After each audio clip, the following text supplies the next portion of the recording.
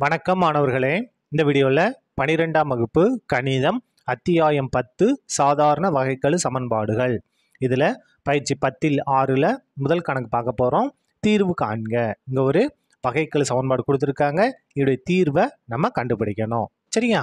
முதல்ல இதை வந்து டிஒய் பை டிஎக்ஸ் இந்த வடிவத்துக்கு மாற்ற முடியுமான்னு பார்க்கணும். இப்படி மாற்றி எழுதிட்டோம்னா இது வந்து என்னவாக இருக்கும்? சமப்படுத்தான சமன்பாடாக இருக்கும். நம்ம தீர்க்கிறதுக்கும் ஈஸியாக இருக்கும்.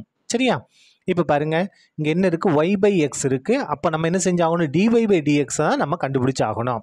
அப்படியே சைடை மாற்றிக்கலாமா ஏன்னா டிஒய் இங்கே இருக்குது அப்போ எப்படி என்னாகும் பாருங்கள் x into cos of y by x into dy equal to x plus y into cos of y by x into dx இப்போ பாருங்கள் நம்ம கண்டுபிடிக்க போகிறது டிஒய் டிஎக்ஸ் கண்டுபிடிக்க போகிறோம் அப்போ இந்த டிஒய் அப்படியே இருக்கட்டும்.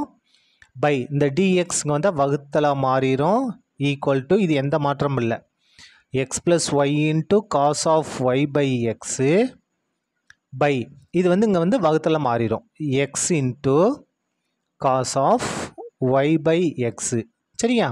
இப்போ பாருங்கள் டிஒய் பை டிஎக்ஸ் வந்துருச்சு. இது வந்து சமப்படித்தான சமன்பாடு. இந்த வகைகள் சமன்பாடு என்னவா இருக்குது சமப்படித்தான சமன்பாடாக இருக்குது அப்போது இங்கே டிஒய் பை டிஎக்ஸ் இருக்கிறதுனால நமக்கு என்ன செஞ்சுக்கலாம்? ஒய் ஈக்குவல் டு விஎக்ஸ் என்க. இந்த மாதிரி எடுத்துக்கலாம். சமப்படித்தான சமன்பாட்டில் நம்ம இந்த மாதிரி எடுத்துக்கலாம். இப்போ பாருங்கள் இதை நம்ம என்ன செய்ய போகிறோம் வகையிட போகிறோம் எதை பொறுத்து? எக்ஸை பொறுத்து. அப்போ என்ன வருங்க?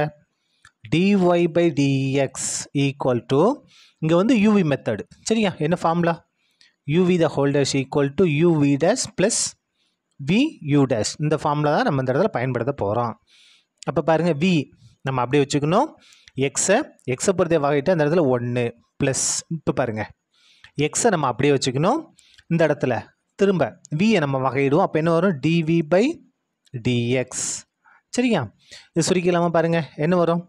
Dy by dx equal to ஒன்னை வியும் பெருக்குனா V plus x into dv by dx இது நம்ம சமன்பாடு ஒன்றுன்னு எடுத்துக்கலாம். இந்த ஒன்றாவது சமன்பாட்டில் இப்போ கொண்டு போய் நம்ம பிரதியிட போகிறோம் எதை பிரதியிட போகிறோம் பாருங்கள் ஒன்றாவது சமன்பாட்டில் டிஒய் பை டிஎக்ஸ் பதிலாக இதை பிரதியிட போகிறோம் டிஒய் பை டிஎக்ஸ் இருக்கா? அதுக்கு பதிலாக v plus x into d v by d x equal to இந்த இடத்துல பாருங்கள் ஒய் இருக்க இடத்துக்கு என்ன பிரதியிடணும்? ஒய் இருக்க இடத்துக்கு விஎக்ஸ்னும் ஒய் இருக்க இடத்துக்கு விஎக்ஸ் பிரதியிடணும். எக்ஸ் இருக்க இடத்துக்கு என்ன பிரதியிடணும்னா ஒய் பை வின்னு நம்ம பிரதியிடணும். இதுலேருந்து நம்ம எக்ஸோட மதிப்பு கண்டுபிடிச்சா என்ன வரும்? ஒய் பை வி வருமா? இந்த மாதிரிலாம் நீங்கள் பிரதியிட வேண்டாம். சிம்பிளாக ஞாபகம் வச்சுக்கோங்க. இங்கே பாருங்கள் ஒய் இருக்கா? அப்போ ஒய் இருக்க இடத்துக்கு வியும் அதுக்கடுத்து இங்கே எக்ஸ் இருக்க இடத்துக்கும் ஒன்று மட்டும் நீங்கள் பிரதிடுங்க இதுக்கு சமமாக தான் வரும். ஏன்னா நம்ம எக்ஸை பொதுவாக எடுத்து நம்ம கேன்சல் பண்ணுவோம். ஒரு ரெண்டு ஸ்டெப்பை நம்ம மிச்சம் பண்ணிக்கலாம். இந்த இதை ஃபாலோ பண்ணால் என்ன இருக்குது ஒய் இருக்கிறதுக்கு வியும் எக்ஸ் இருக்கிறது ஒன்றும் பிரதிடுங்க இதை மட்டும் நீங்கள் ஞாபகம் வச்சுக்கோங்க. நமக்கு ஈஸியாக இருக்கும். இப்போ பாருங்கள் எக்ஸு எக்ஸுக்கு பதில் என்ன பிரதிடணும் ஒன்று ப்ளஸ் ஒய் ஒய்க்கு பதில் நம்ம என்ன பிரதிடணும் வி காஸ் ஏன் ஒய் இருக்கா? ஒய்க்கு பதிலாக வி எக்ஸுக்கு பதிலாக ஒன்று அப்போது வி பை ஒன்றுனா வி தான் அர்த்தம்.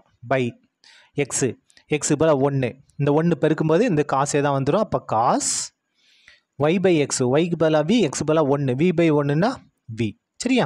நீங்கள் முன்னால் இந்த எக்ஸு பதிலாக ஒன்று போட்டாலும் சரி போடலாம் சரி எந்த மாற்றமும் இல்லை. இப்போது இதை நம்ம தனித்தனியாக பிரித்து இல்லாமல் பாருங்கள் இடது பக்கம் எந்த மாற்றமும் இல்லை. V plus x into d v by d x equal to ஒன்று by cos v plus v cos v by cos v அதாவது பகுதியில் ஒரு உறுப்பு இருந்துச்சு தொகுதியில் ரெண்டு உறுப்பு பொது நம்ம தனித்தனியாக பிரித்து எழுதிட்டோம். இந்த இடத்துல காஸ் வியும் காஸ் வியும் கேன்சல் அதுக்கடுத்து பாருங்கள் x into d v by d x equal to ஒன்று பை காஸ் வி ப்ளஸ் இந்த இடத்துல வி மட்டும் இருக்குமா? இது ப்ளஸ் வி இங்கே வந்தால் மைனஸ் வியாக மாறிடும். அப்போ plus v minus v cancel ஆயிரும்.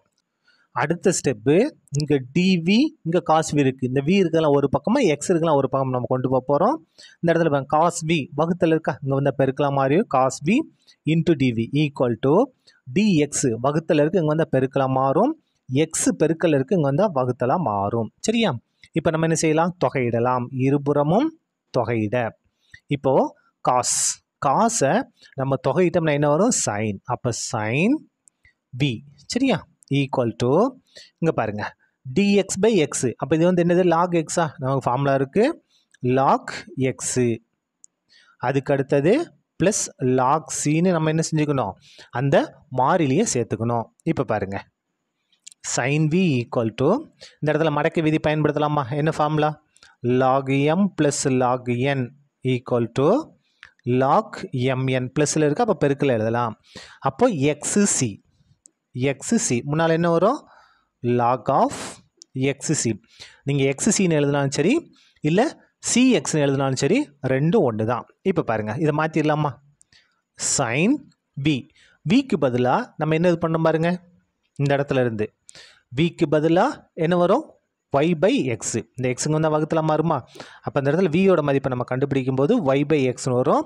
அப்போ விக்கு பதிலாக நம்ம ஒய் பை எக்ஸ்னு மாற்ற போகிறோம் y by x equal to log of இந்த இடத்துல நீங்கள் மாடுலஸ் போட்டுக்கிட்டாலும் கரெக்ட் தான். மாடுலஸ் ஆஃப் சிஎக்ஸு இதான் என்னது? நமக்கு தேவையான தீர்வு. சரியா? அவ்வளோதான் இந்த கணக்கு முடிந்தது. நன்றி.